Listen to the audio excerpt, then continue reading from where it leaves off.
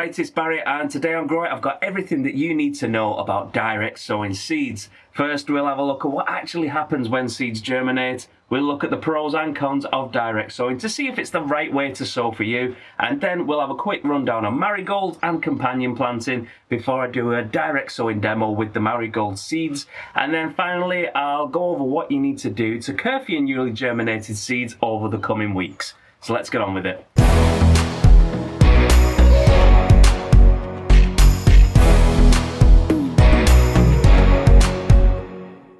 When you think about it, seeds are the most incredible things. They hold within them the potential for new life that could come in the shape of one giant seed like the stone in an avocado, or they could be so small that thousands of them together can just look like dust or grains of sand. When a seed germinates, it goes through a number of biological processes that begin its journey towards becoming a full-grown plant and eventually producing seeds of its own.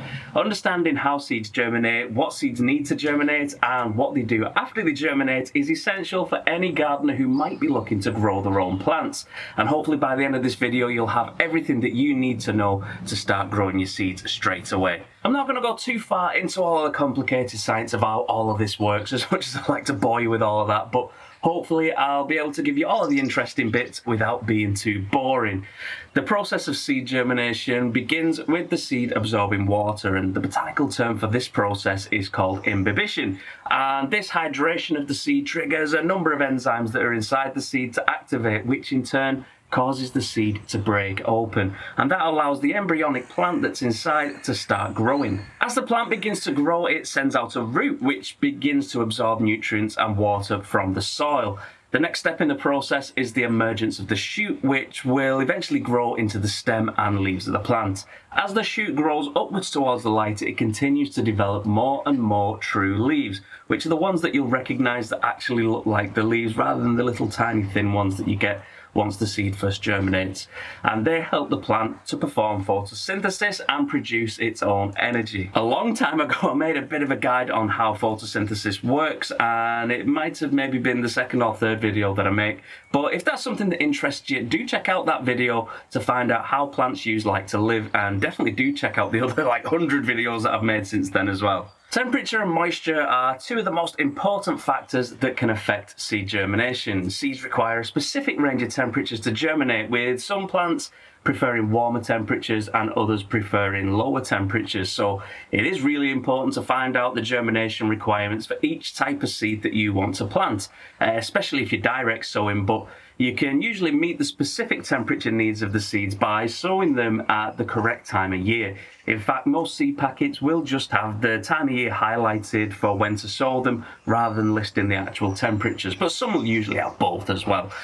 Things get slightly more complicated in large places like the USA where you have climate zones and they can affect when seeds go in quite considerably but we don't really use those in the UK as pretty much everybody is in the same zone and which actually on that subject we just had a, a late stint of cold weather here in the UK and if you live here you'll definitely know about that already but for those of you elsewhere in the world I think it gave us like a 21 degrees Celsius difference in temperature at the same time between the norths of Scotland and the south of England, which is fairly unusual here. It's normally maybe six degrees or something, but that's a bit closer to what it's like when there's multiple climate zones going on. So yeah, don't envy places that have got to put up with that when it comes to picking when you're going to be sowing things because it yeah, I've not got, quite got my head around it yet, but I will have a look into it and see if I can work that out for maybe for in a video in the future. Anyway, seeds also need to be kept hydrated during the germination process so that they have enough water to activate those enzymes in the inside that I mentioned earlier.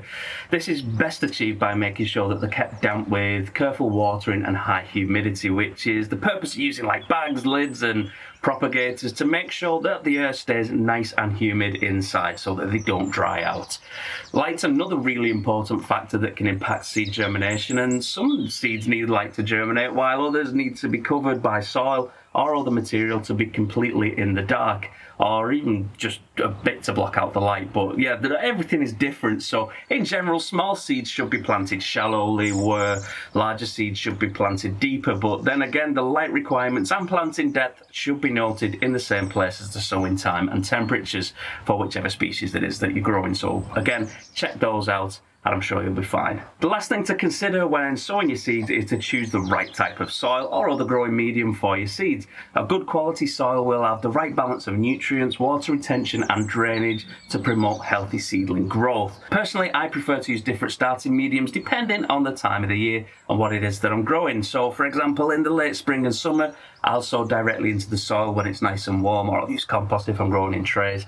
But when I'm starting seeds off in the winter and early spring, when it's a lot colder, like for my tomatoes, I, like to get them started in January. I'll sow them into Rockwool grow plugs and just use water, just because I can fit more plants into a smaller space and keep them warm a bit easier without using loads of heaters and things. Understanding the basics of how seeds germinate is crucial for any gardener looking to start their own plants and it can make the difference between success and failure. And by providing the right conditions for your seeds to germinate, you can help ensure that they grow into healthy and thriving plants that can last right through the growing season and beyond.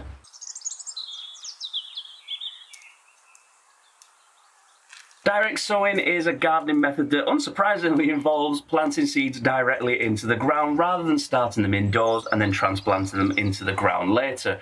While direct sowing can be convenient and an easy way to start your plants growing, there are also some potential drawbacks to consider. One of the biggest advantages of direct sowing is that it is a really low cost method for gardening.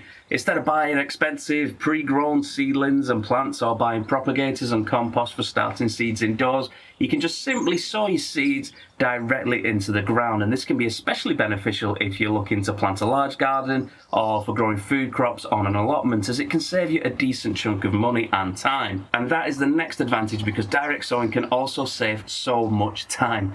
Once you've prepared all your soil, all you need to do is plant the seeds and wait for them to germinate and this can be a lot more time efficient than starting seeds indoors, which requires all that additional effort uh, going into preparing seed trays, maintaining the proper artificial growing conditions, and then the time needed to transport them around and transplant them into the final growing position. Another advantage of direct sowing is that it can be a more natural way of gardening if that is something that you're particularly interested in.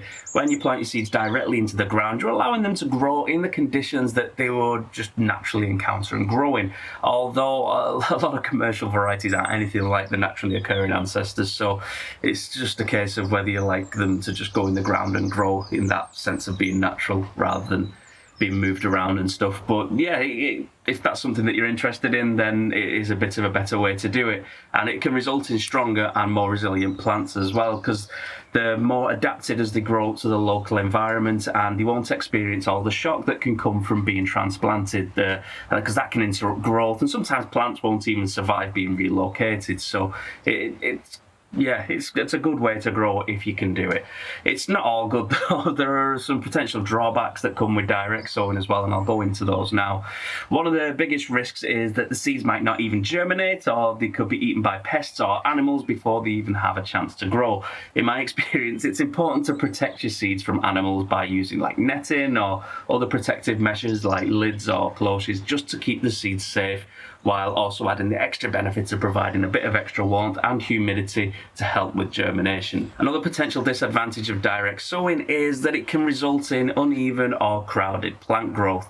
When you plant seeds directly into the ground, it can be difficult to space them out properly or ensure that they're planted at the correct depth, and this can result in overcrowding, which can make it difficult for plants to grow and thrive. For that reason, it is important to thin out your seedlings once they germinate, leaving the strongest ones at the correct spacing for whatever it is that you're growing.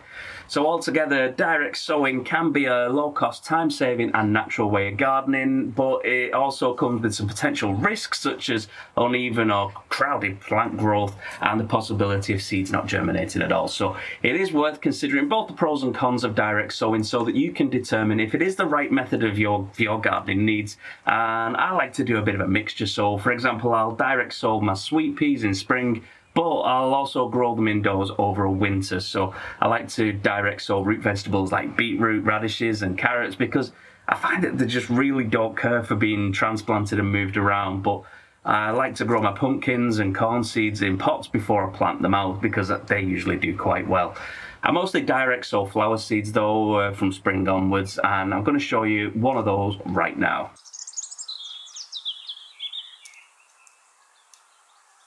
Marigold flowers are one of the most popular annual flowers because they're easy to grow and they come in a variety of colours and shapes, including bright oranges, yellows, and reds. Plus, they're not only a beautiful addition to your garden, they also have practical uses as a companion flower to grow with your tomato plants, which I'll just get into shortly. Marigolds have the botanical name to Tagetes and they're part of the daisy family Asteraceae. They're native to Mexico and Central America, and the Aztecs used marigolds in the religious ceremonies ceremonies and for medical purposes, and they also believed that the of marigolds could ward off evil spirits. When the Spanish arrived in the Americas, they brought marigolds along with tomatoes back with them to Europe, where they quickly became very popular as ornamental plants. And over time, many different varieties of marigolds have been cultivated, each with their own unique characteristics. For example, we've got French marigolds, which are smaller and bushier than African marigolds, which are larger and grow more upright. In addition to the use as ornamental plants, marigolds have been used for a variety of other purposes throughout history. Uh, they've been used as natural dye as well as traditional medicine to treat various ailments. You know, I'm pretty. I'm pretty sure that every plant has been used as a traditional medicine for something at some point. Today, marigolds are still popular ornamental plants and are widely grown in gardens around the world. I'm not sure whether they're still used as a medicine, so maybe if you know of marigolds being used as a traditional remedy wherever you are in the world, give me a shout in the comments and let me know where you are and what they've been used for. In terms of when to sow marigold seeds, they can be sown directly into the ground in spring once the soil has warmed up a bit. The ideal temperature for germination is around 21 degrees Celsius or 70 degrees Fahrenheit, and marigold seeds usually take around 7 to 14 days to germinate depending on the variety and the growing conditions. I'm direct sowing my marigolds today in the big greenhouse and it's almost time for my tomato plants to go in there so this year I've decided to sow a load of marigolds into the beds ready to fill them out. As I mentioned earlier, marigolds are the perfect companion plant for tomato plants as they're known for their ability to repel pests, which is why I want to load in my greenhouse this year because I had murder with them last year with pests and whiteflies and stuff. So this year I'm going to do everything I can to make sure that they don't come in. The roots of marigold plants produce a chemical called alpha terthienyl, and that repels nematodes, which are microscopic worms that can seriously damage tomato plant roots. Additionally, marigolds will attract beneficial insects such as ladybirds, which will hunt down common tomato plant pests like green flies, aphids, and whiteflies, so they're really good to have in the greenhouse. When you're planting your marigolds as a companion to your tomato plants, it is really important to choose the right variety of marigold French marigolds are the most effective at repelling nematodes, while African marigolds are bigger and more colourful, making them a bit more ornamental and more likely to attract in those other ones, the beneficial ones that you want in there. So I've got absolutely loads and loads of open packs of marigold seeds left over from last year that needs using up this year. So I'll probably just chuck all of them in a big mix, mix them all up together, and that should cover all of those potential benefits that are on offer. So let's get those seeds and get in the greenhouse and get them into the ground. So here we go. I've got all of these different marigold seeds that I've got like open packs. I think there's a couple of full packs as well. I think I got these when they was reduced in uh, in Wilko, so I've got a couple of extra packs they're only 25 well they were i don't know how much they cost now but they were only 25p at the time so i think they're from lidl. I have no idea what these are or how old they are. Oh but i don't know what they are i don't know where they're from. And then uh, got some calendula seeds as well. Um, these are known as pot marigolds or english marigolds and a couple of other names and they're not actually marigolds. They're the same family from same from asteraceae family but they're not actually not actually marigolds. So I'll be putting them in anyway. They do have some of similar pest preventing properties, so might as well start with them. I need to get rid of them this year anyway because I'll get some fresh ones for next year. Um, got this little tub, just going to tip everything into there to be honest and uh, give them a mix up and then get them all into that bed in the uh, in the greenhouse where the tomatoes are going. So see if we can get all, get all of these out. I mean, you can see from the seeds anyway. Um, they are like little weird little crispy worm type looking seeds, but marigold seeds are like sort of like what you get on a dandelion without the um, you'll see on like same as dandelions they've got the little fluffy bit that lets them float on the wind so they're sort of like those like little long ones. Anyway, they're all going in there. What's these ones? These are French Petite Mixed. Probably saw, but the ones I've just poured in there were African ones, so they're going to have those bigger flowers. These are going to be a lot smaller. Orange Flame. Not really very specific, so get them in there. These are the ones that always manage to escape the packs as well for whatever reason. They always seem to be the ones that are lurking around in the bottom of my seed packs and my seed boxes, and bags and things. I'll always find these lurking about at the bottom. I don't know how they manage to escape, but they always manage to. Can't even get in this now. Yeah, it's quite a lot here, so going to be doing some thinning out by the looks of things. And as I was mentioning earlier as well, you can see with our uh, seeds in the UK, you've got like a month thing for the whole year. And it'll show you when you can sow indoors, plant out, sow outdoors, and when they're due to flower. Um, yeah, it's got all your information here, and this will be obviously different depending on where you are in the world and where you're buying your seeds. But like I said, they didn't mention the actual germination temperatures, but you can get a general guide from this. And I'm going to be planting in the greenhouse anyway, so they are going indoors and it is March, so perfect timing. Um, I'll use up these ones as well, just get rid of them. I've got so many packs of seeds, I just want to plant as many as I can this year and make a bit more room. There we go. So I've got a nice big, yeah, I've got like couple of hundred, maybe thousand seeds there ready to go in. So give them a bit of a mix up in there. I'm just gonna, I'm just gonna really heavily sow those into these beds in the greenhouse. So let's get in there now and have a look at those. So here we are in the greenhouse and this is my big tomato bed. Um, it's a bit dry, there's obviously nothing in it at the moment. So we're just looking compost, soil. Um, it's got some um, like slow release fertilizer that's in there already. Oh, that's just burst because it's all wet. Oh, I hope it was one of those and not like some kind of egg. Anyway, um, so what I'm going to do is just put a long row um, in here of uh, the marigolds and then just let them let them grow and do as they please. I'll probably when they when they grow and they're a bit more crowded in here, I'll probably um, maybe move some and dot them about everywhere around the tomato plants because by the time these grow the tomato plants are going to be in and they're going to all be growing um, sort of well along on the way. So I'll uh, yeah possibly move them around and see. I'll see how that goes anyway. I don't just do it as it comes. Anyway best thing I can say for when you're doing stuff like this for doing your rows and your drills is to just use a garden cane. I'm going to leave um, I'm going to leave a bit of a gap here because I'm going to put um, a bit of an irrigation system in uh, in the next couple of weeks as well that I can um, attach the hose pipe and water everything here a bit more rapidly. Uh, so uh, yeah, so there's two ways you can do it really. You can pre-dig your um, sort of like a trench. Well, not really dig, but use your trowel or whatever to sort of put a drill in all the way along that you can use for dropping your seeds into. That's the way I generally do it or you can use the actual stick or if you're using a thicker stick um, to sort of press down. And then when you lift that up if your soil's a bit damper than this is, is too dry to do that sort of thing. But if you're using damper soil press your stick down and that'll leave an impression that you can drop your seeds into. But as I say I'll use this cane just to make sure I go in a straight line all the way along. And then I'll put those seeds into the um, another thing that I'll do out when I'm planting outside. This has already got loads of compost mixed in from the other day when uh, when I dug it all in.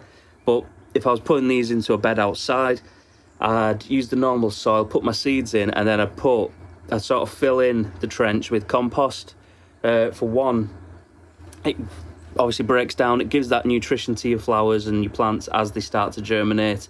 But also it acts as a bit of a marker because the compost sort of a lighter brown um, than than the actual soil itself, which will have a bit more of a grey colour to it, or well, depending on where you live, it does here anyway because it's absolutely awful soil.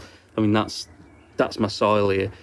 Um, so that's why I've got to put so much compost into it. But um, yeah, so I'll use compost to mark out the, the line where all the seeds are, and then you can sort of see where it is, and you know when they start germinating that it's the ones that you've planted and it's not some weeds or something else that's growing in there. So we've got a nice line there, which is sort of uh, suitable for marigold seeds. And like I say, I've mixed all of these up, and I'm, I'm just going to put absolutely tons in here because I want to make sure that they do grow especially with um, how old some of them are as well. I, I want to make sure at least some germinate because some of them might be a bit past it now. So yeah, there's absolutely loads of seeds in there. Um, and all I do now is cover those over with the soil. And as I said, what I do outside, I just use compost on its own just to give you a slightly different coloured line as you grow along. And you can also just leave your canes in. I've done that before. Leave your cane there. And that's what I'm going to do just because I don't have that difference in uh, that difference in colour to indicate where those seeds are. I'm just going to leave that cane in so that when I do come to plant my tomatoes uh, later this week or next week, I'm going to know where this line is so I don't dig them back up again and, and spoil all that uh, effort. Um, so that's it. Yeah, really simple process as far as these ones go. Um, if it was bigger seeds, maybe if you was planting onion sets, you'd want to go a bit deeper. But with these marigolds, they're going to be perfectly happy as they are. And you can also, uh, maybe with wildflowers, I've done that before, um, give them a bit of a mix with some sand, um, like some horticultural sand, and that'll um, act as a bit of an indicator. So when you, you can just scatter those straight on top of your soil and the sandal acts as a bit of an indicator to see where your seeds have gone so that you're not going over the same place over and over again so that's another thing you could possibly do in this situation use a bit of a line of some horticultural sand just across the top so that you know where that row of seeds is. So all I've got to do now is do that for the rest of this uh, this bed in here and that's done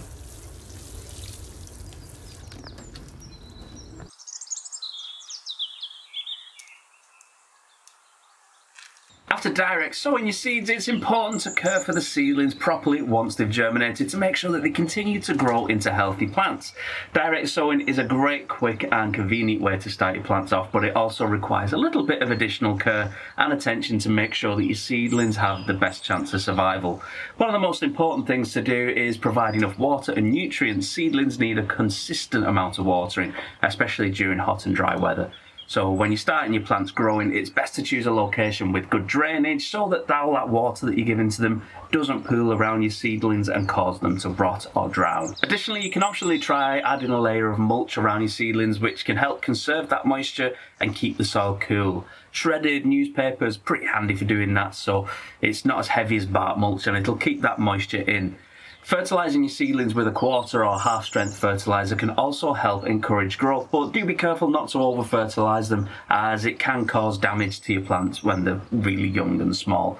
They are quite sensitive to fertilisers, so if you're just in doubt or you're not sure, just go with a quarter strength dilution until the plants are a bit bigger and they'll be finding nutrients in the soil anyway, so don't worry about it. Protecting your seedlings from pests and diseases is a big job, as I mentioned earlier. Uh, insects and other pests that can quickly destroy newly sprouted seedlings. So it is really important to be vigilant, keep an eye out for them, because in my experience, row covers such as fleece and netting, they can be a really good way to protect your seedlings from pests while still allowing them to receive sunlight and moisture. Fleece covers can also help protect seedlings from extreme temperatures and strong winds.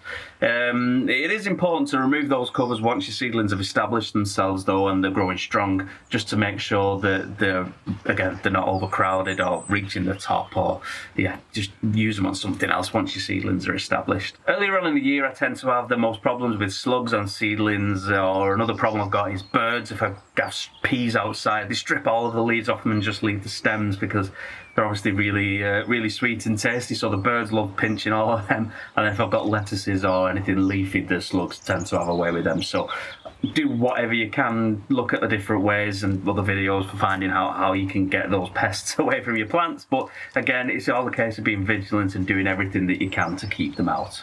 The next stage occurring for your seedlings after they germinate from direct sowing is to thin them out. As seedlings grow and mature, they'll compete for all those resources in the soil, such as nutrients and water. And if there's too many seedlings growing in the same space, they just want to have enough resources to grow properly and healthy.